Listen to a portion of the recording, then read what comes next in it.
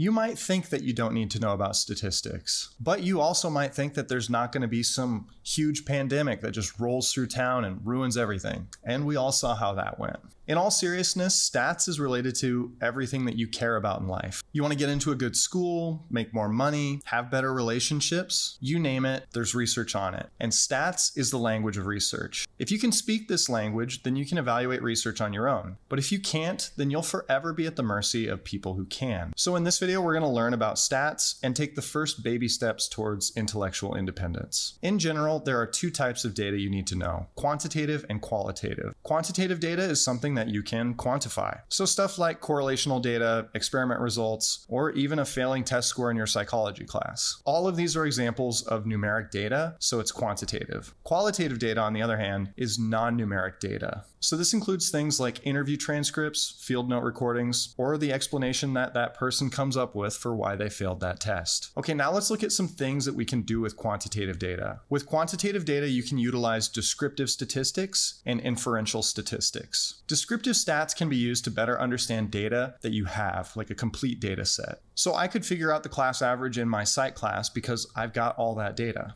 Now, if I want to figure out the GPA of all of grade 11, that's a different situation. I don't have all the data. I need to take a sample and then make some inferences. In other words, I need to use inferential statistics. Okay, let's figure out exactly what descriptive statistics are, though. The two main types of descriptive stats are the measures of central tendency and the measures of variation. The measures of central tendency are the mean, median, and mode. You probably already know about these from math class, but I'll explain why they're useful in different situations here. Let's start with the mean, which is just an average. We can quickly figure out the average height of a class by adding everyone's height together, then dividing by the number of students. Pretty easy. But now let's pretend that Eren Yeager is in your class and after transforming into his attack titan, he's suddenly 49 feet tall. Because of that one super tall data point, your class average height is now well over 7 feet. That's not good. None of you are 7 feet tall. Outliers can really distort averages, so this is a weakness of the mean. In this situation, it's better to use the median, which is just the data point that's closest to the middle of the range. The median is useful because it's not affected by outliers. Okay, the last measure of central tendency is the mode. The mode is just the most common response. So the mode is great to use when you have nominal data.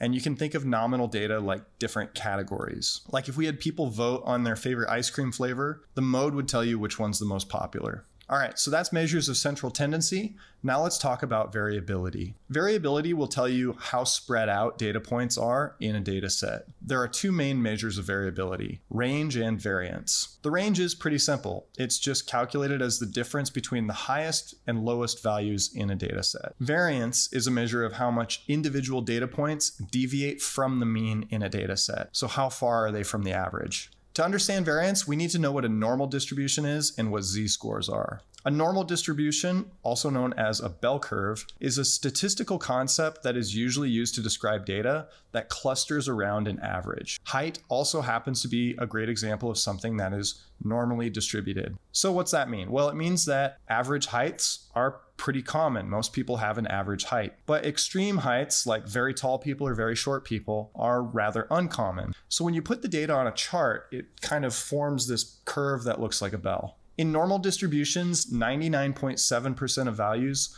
lie between negative 3 and 3 standard deviations, 95% between negative 2 and 2 standard deviations, and 68% between negative 1 and 1 standard deviation. And these numbers that indicate the deviation are called z-scores. Z-scores are useful for understanding if a data point is an outlier or not. So if something has a z-score that's above 3, then you know that that data point is really, really uncommon. It's almost certainly an outlier. Now, sometimes this bell curve gets a little bit messed up, and you get what's called a skewed distribution. A skewed distribution is basically a bell curve that looks distorted because more data points are falling on one side than the other. In a positively skewed distribution, the tail on the right hand side is longer or stretched compared to the tail on the left hand side. The majority of data points are concentrated towards the lower values, and you have some outliers that are pulling the tail to the right on the high end of the scale. Negative skew goes the opposite way. In a negatively skewed distribution, the tail on the left hand side of the distribution is longer compared to the tail on the right hand side. The majority of data points are concentrated towards the higher end on the right, and the outliers are pulling the lower tail to the left. Okay, that's skewed distributions. Another way we can look at data is by using something called percentile rank. Oh, look at this. Got some plants now. Big plant guy, huh? Aren't you the gym bro from the bias video? We're kind of in the middle of something. Yep. Guess how tall I am. I really don't think anyone cares. Wrong. I'm six foot three. Do you know what percentile rank that puts me in? Cool, dude. Do you even know what percentile rank is? Oh, ye of little faith.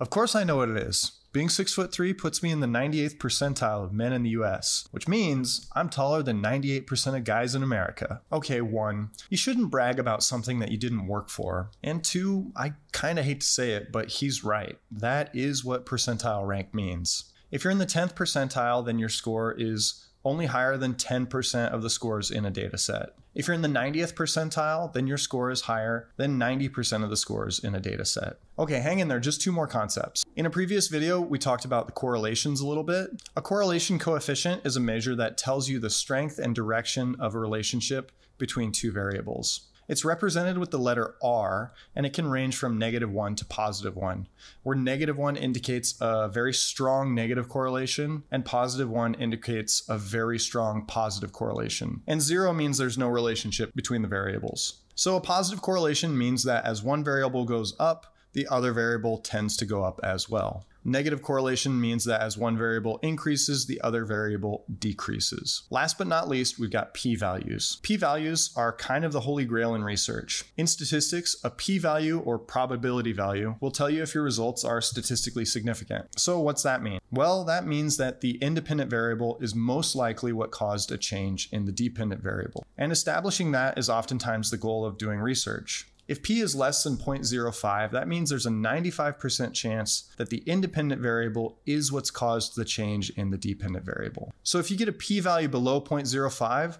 then you can at least reject the null hypothesis, which states that the independent variable doesn't do anything. Getting statistically significant results doesn't necessarily prove that your hypothesis is true, but you can be confident that you're on the right track. Okay, that's all we've got for stats. In our next video, we're going to take a look at the ethical regulations in psychological research.